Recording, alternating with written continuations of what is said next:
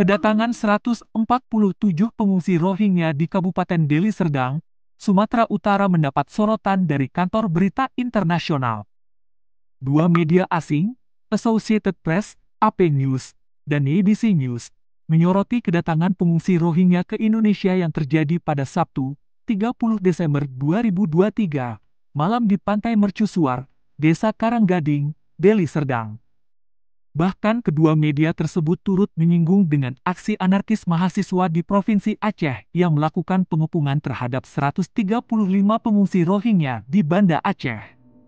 Dalam laporan yang diterbitkan AP News, sebagian besar dari pengungsi Rohingya itu merupakan perempuan dan anak-anak.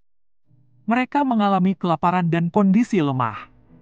Rombongan itu terdiri dari 53 laki-laki, 39 perempuan dan 55 anak-anak. Namun dalam laporan AP News, warga setempat tidak menginginkan pengungsi berada di kawasan mereka. Penolakan pengungsi Rohingya di Indonesia sangat masif disuarakan, utamanya di media sosial. AP News dalam laporannya menyinggung dengan aksi sekelompok mahasiswa Aceh yang pada Rabu, 27 Desember 2023, mengepung basement gedung Balai Museum Raya Aceh, BMA, Kota Banda Aceh.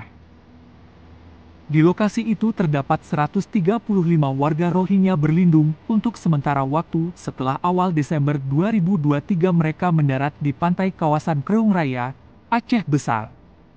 Media itu juga mengutip pernyataan Angkatan Laut Indonesia, TNI AL, yang mengatakan bahwa pada Kamis, 28 Desember 2023, mereka secara paksa mendorong satu kapal yang penuh dengan pengungsi kembali ke perairan internasional setelah mendekati perairan Aceh.